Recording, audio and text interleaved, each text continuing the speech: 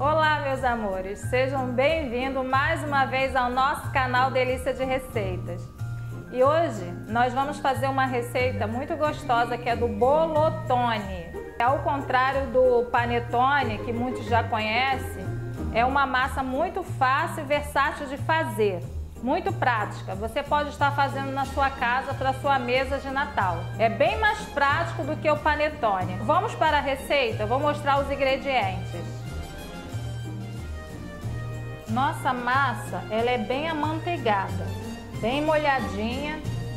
E os ingredientes que vamos precisar é 200 gramas de margarina em temperatura ambiente, 80% de lipídio, é que eu sempre falo nas minhas receitas. Equivale a 6 colheres de sopa de margarina. Pode ser manteiga também.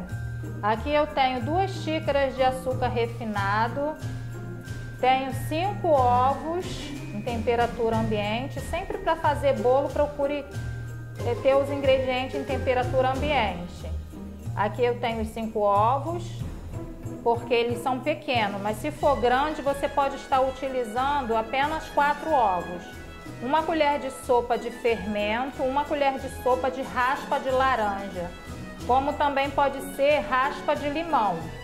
Vamos estar utilizando também essência de panetone, que se encontra em lojas de confeitaria, a marca que você quiser. Vamos precisar apenas de uma colher de chá.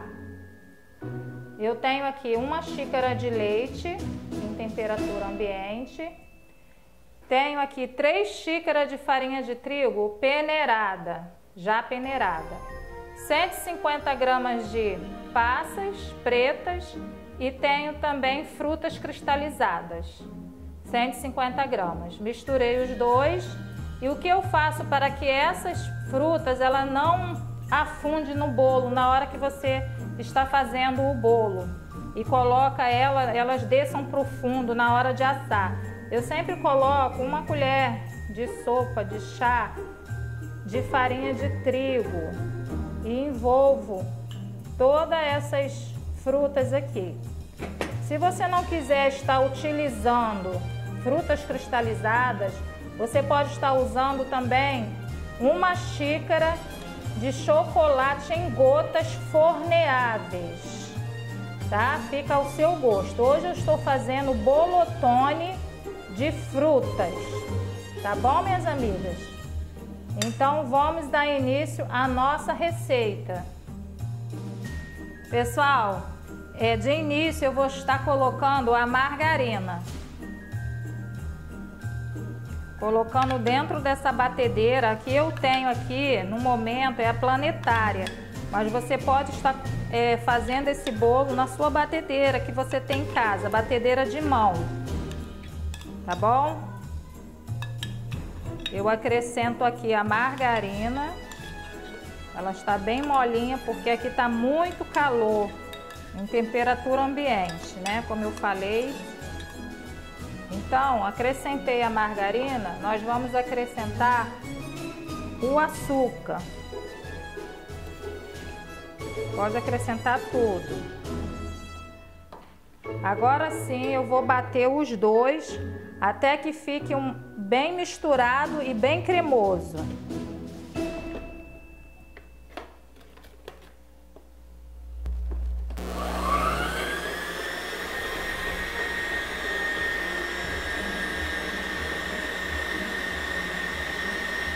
quando você bate a margarina com açúcar, tem que ficar assim, ó, como se fosse uma pomada, bem batido.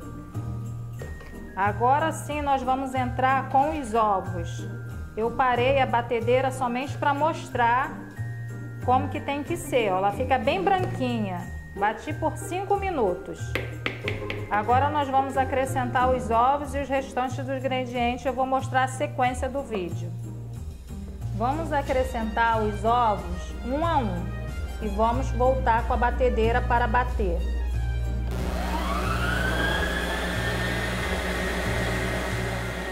Vou acrescentar agora uma colher de chá bem cheia da essência de panetone.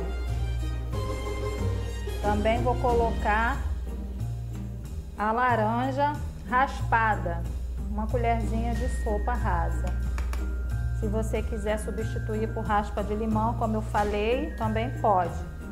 Vou bater mais um pouco, somente para misturar. Veja como ficou o nosso creme. Após batido, ficou bem lisinho, bem misturado. Acrescentei, como vocês viram, a casca de laranja raladinha, somente a parte da casca, tá, pessoal? Não coloque aquela parte branca não, porque pode amargar o seu bolo.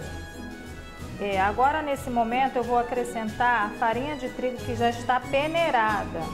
Aos poucos e vou envolvendo. Esse bolo é, bolotone, ele é muito gostoso. Essa receita ela é bem molhadinha porque ela requer é, mais margarina. Então, eu aconselho que você faça melhor do que o panetone. Eu vou alternando com leite, que está em temperatura ambiente. Isso é muito importante, pessoal, para o seu bolo ficar macio e sem dar nenhum tipo de problema quando vai levar ao forno. Os ingredientes em temperatura ambiente. Vou acrescentando o trigo, mexendo aos poucos. E o leite até terminar. E depois acrescento o fermento e as frutas cristalizadas. Vai envolvendo a massa delicadamente, para que sua massa fique bem leve e airada. Vai entrar ar dentro da sua massa, incorpora ar quando você faz isso.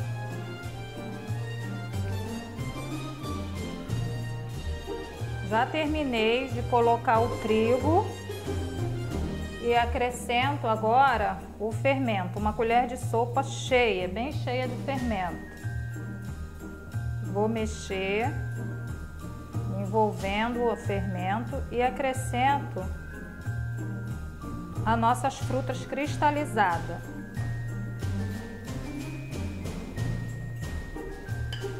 Lembrando que esse branco dela é farinha de trigo, tá? Eu coloquei, como vocês viram no início do, do, do vídeo.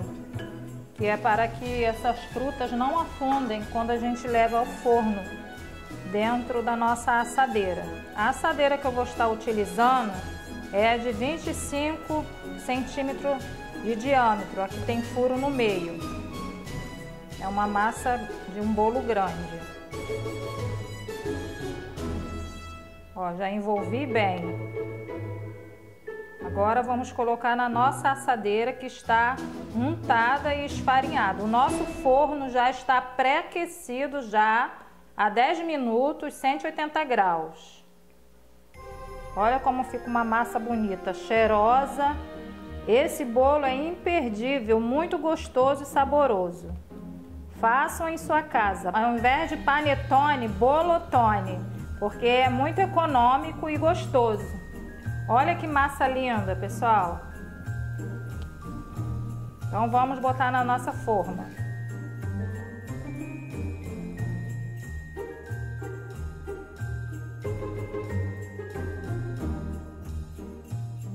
Amores, enquanto o nosso bolo está no forno, nós vamos ao preparo de uma calda que nós vamos colocar por cima do nosso bolotone. Aqui eu tenho uma xícara de glaçuca, aqueles açúcares de confeiteiro bem fininho. Eu tenho aqui uma laranja espremida e passada pela peneira. Para tirar todas aquelas películas que ela tem, eu passei pela peneira. O que eu vou fazer? Eu vou colocando aqui aos poucos e vou misturar até dar o ponto que eu quero para colocar por cima do nosso bolotone.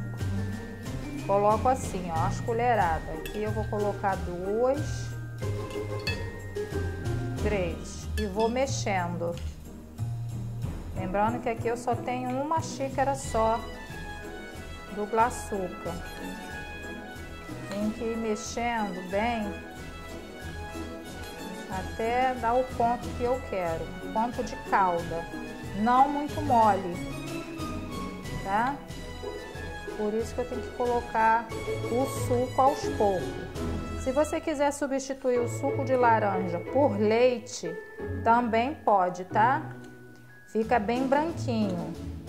Aqui no caso vai ficar um pouquinho amarelinho por causa da cor, né, do suco, do suco de laranja, mas fica muito saboroso e diferente, né? Então vou continuar mexendo.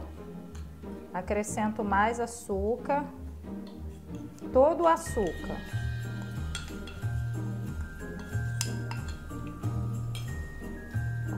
E vou colocando o suco, o suco de laranja aos poucos. Aqui, esse é o ponto que tem que ficar a nossa calda para colocar em cima do bolotone. Tá vendo? Não muito líquida.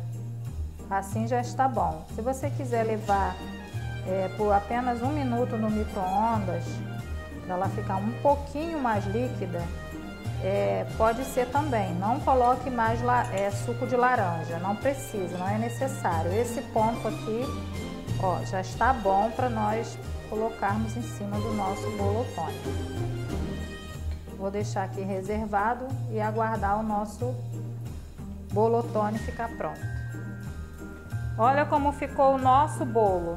Ficou por 35 minutos no forno em 180 graus. Ficou bem moreninho, né? Agora nós vamos terminar a decoração do bolotone. Já vou desenformar e vou mostrar para vocês como vai ficar a nossa decoração. Agora eu vou espalhar por cima a nossa caldinha que nós fizemos e estava aqui reservada. Como eu falei, eu fiz com laranja. Você pode fazer com leite também. Eu preferi espalhar com essa espátula aqui de bolo. Agora é só aguardar secar um pouco e vamos espalhar a nossa frutinha cristalizada por cima. A decoração fica ao seu gosto. Use a sua imaginação. Agora vamos espalhar a nossa frutinha. Meus amores, muito obrigado por vocês ter ficarem comigo até o final do vídeo.